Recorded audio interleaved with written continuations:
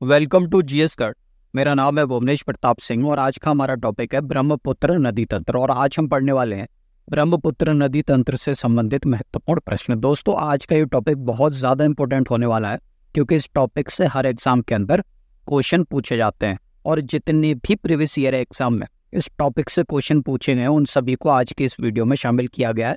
तो वीडियो को शुरू से लास्ट तक देखिएगा। वीडियो पसंद आए तो वीडियो को लाइक कर देना और चैनल पर नए तो चैनल को सब्सक्राइब कर लेना। चलिए शुरू करते हैं और देखते हैं आज का पहला सवाल। पहला सवाल है, ब्रह्मपुत्र नदी का उद्गम कहाँ से होता है? ब्रह्मपुत्र नदी का उद्गम कहाँ से होता है? तो आपको याद रखना है, इसका उद्गम तिब्बत में चेमा योडोंग ग्लेशियर से होता है। कहाँ से होता है? तिब्बत में चेमा युडोंग ग्लेशियर से होता है। तो दोस्तों, आपको याद रखना है, तिब्बत में एक पर्वत श्रेणी है, जिसका नाम है कैलाश पर्वत श्रेणी। क्लियर है? कहाँ पर है? आप कहेंगे तिब्बत में है। कैलाश पर्वत श्रेणी और इसी श्रेणी पर स्थित है मानसरोवर झील। और इसी झील के पास एक ग्लेशियर है, जिसका नाम है चेमा युंगडोंग ग्लेशियर। और इसी ग्लेशियर से निकलती है ब्रह्मपुत्रा नदी। तो ब्रह्मपुत्र नदी का उद्गम कहाँ से होता है? तिब्बत में। चेमा युंगडोंग ग्लेशियर से होता है। Option A is correct answer. अगला सवाल देखते हैं दोस्तों। ब्रह्मपुत्र नदी किस राज्य से होकर भारत तक प्रवेश करती है? ब्रह्मपुत्र नदी किस राज्य से होकर भारत में प्रवेश करती है? तो आपको याद रखना, अरुणाचल प्रदेश से। क्लियर है दोस्तों? तो ब्रह्मपुत्र नदी अरुणाचल प्रदेश से भारत में क्या करती है? एंट्री करती है जाने की प्रवेश करती है। Option C is correct answer अगला सवाल देखते हैं। ब्रह्मपुत्र नदी को तिब्बत में किस नाम से जाना जाता है? ब्रह्मपुत्र नदी को तिब्बत में किस नाम से जाना जाता है तो आपको याद रखना है, सांगपो नाम से जाना जाता है। क्लियर है दोस्तों? तो ब्रह्मपुत्र नदी को तिब्बत में किस नाम से जाना जाता है, आप कहेंगे सांगपो नाम से जाना जाता है option C is correct answer अगला सवाल देखते हैं दोस्तों। ब्रह्मपुत्र नदी को चीन में किस नाम से जाना जाता है? ब्रह्मपुत्र नदी को चीन में किस नाम से जाना जाता है तो आपको याद रखना है, यारलुंग नाम से जाना जाता है। क्लियर है दोस्तों? तो ब्रह्मपुत्र नदी को चीन में किस नाम से जानते हैं? यारलुंग नाम से जानते हैं। यार यारलुंग कहा जाता है। Option B is correct answer अगला सवाल देखते हैं। ब्रह्मपुत्र नदी को अरुणाचल प्रदेश में किस नाम से जाना जाता है? ब्रह्मपुत्र नदी को अरुणाचल प्रदेश में किस नाम से जाना जाता है? तो आपको याद रखना है, दिहांग नाम से जाना जाता है। किसको? ब्रह्मपुत्र नदी को कहाँ पर? अरुणाचल प्रदेश में। क्लियर है दोस्तों? Option D is correct answer अगला सवाल देखते हैं।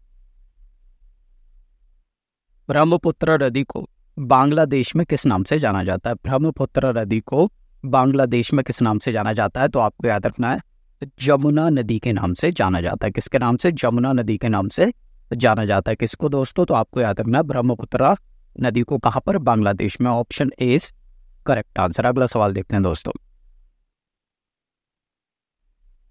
विश्व का सबसे बड़ा नदी द्वीप, माजुली का निर्माण किस नदी के द्वारा होता है? विश्व का सबसे बड़ा नदी द्वीप माजुली का निर्माण किस नदी के द्वारा होता है? तो आपको याद रखना है, ब्रह्मपुत्र नदी के द्वारा होता है, विश्व के सबसे बड़े नदी द्वीप का निर्माण, जिसका नाम क्या है? माजुली है। क्लियर है दोस्तों? तो आपसे पूछा जाए, विश्व का सबसे बड़ा नदी द्वीप कौन सा है? तो आप कहेंगे माजुली है और इसका निर्माण कौन करता है? तो आप कहेंगे ब्रह्मपुत्र नदी करती है। ब्रह्मपुत्र नदी के द्वारा माजुली, यानी कि विश्व के सबसे बड़े नदी द्वीप का निर्माण होता है। नदी द्वीप का मतलब होता है रिवर आइलैंड क्लियर है दोस्तों? Option D is correct answer अगला सवाल देखते हैं। विश्व का सबसे बड़ा नदी द्वीप माजुले किस राज्य में स्थित है? विश्व का सबसे बड़ा नदी द्वीप माजुले किस राज्य में स्थित है? तो आपको याद रखना है, असम राज्य में स्थित है। कौन? आप कहेंगे विश्व का सबसे बड़ा नदी द्वीप Majuli. Option C is correct answer. अगला सवाल देखते हैं दोस्तों। गंगा एवं ब्रह्मपुत्र की संयुक्त जलधारा किस नाम से जानी जाती है? गंगा एवं ब्रह्मपुत्र की संयुक्त जलधारा किस नाम से जानी जाती है?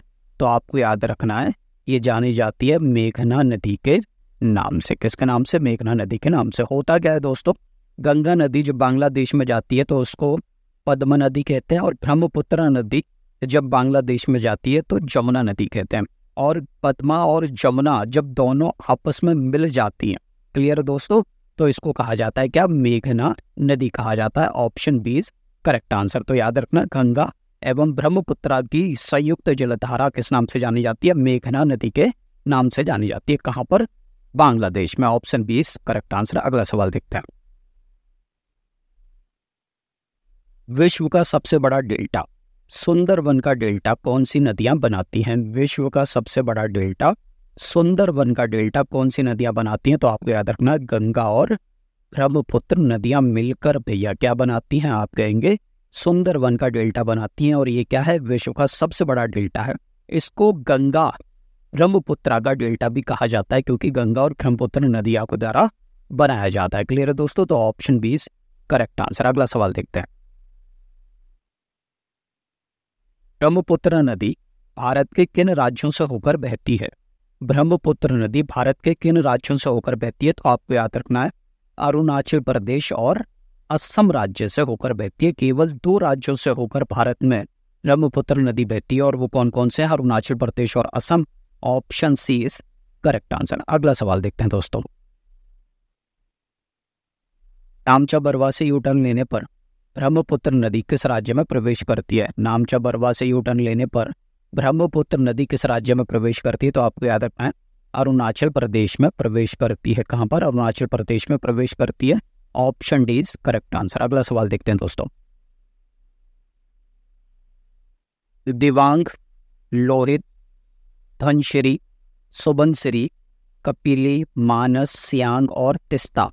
किसकी सहायक नदियाँ हैं? दिवांग, लोहित, धनश्री सुबनश्री कपिली, मानस, सियांग और तिस्ता किसकी सहायक नदियाँ हैं? तो ये सारी की सारी सहायक नदियाँ किसकी? ब्रह्मपुत्र नदी की। क्लियर है दोस्तों? तो ब्रह्मपुत्र नदी की ये सारी की सारी क्या है? सहायक नदियाँ सहायक नदियाँ बोले तो ट्रिब्यूटरीज हैं। Option A is correct answer अगला सवाल देखते हैं दोस्तों।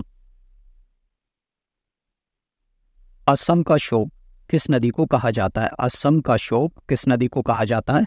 तो ये कहा जाता है ब्रह्मपुत्र नदी को। Option B is correct answer clear है? ब्रह्मपुत्र नदी को क्या कहते हैं दोस्तों? असम का शोक कहा जाता है। Option B is correct answer अगला सवाल देखते हैं दोस्तों और ये आज की वीडियो का लास्ट क्वेश्चन है।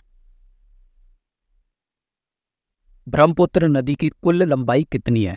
ब्रह्मपुत्र नदी की कुल लंबाई कितनी है? तो आपको याद रखना है, उनतीस किलोमीटर ब्रह्मपुत्र नदी की कुल लंबाई है, यानी कि टोटल लेंथ है। Option D is correct answer clear है दोस्तों? अगर दोस्तों आपको हमारी ये वीडियो पसंद आई हो तो वीडियो को लाइक करना चैनल पर नया तो चैनल को सब्सक्राइब करना, और वीडियो से रिलेटेड कोई भी कमेंट हो तो कमेंट करना।